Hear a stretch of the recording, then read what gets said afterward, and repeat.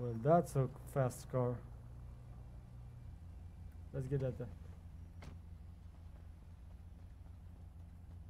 Shit my damn pants. Ah. Don't become no murder case now, nigga. Get that one instead. Yeah. Okay. Now this one is a car for me. Can I do a burnout? Oh, I can do one. I can do a burnout. I missed the entrance, like usual.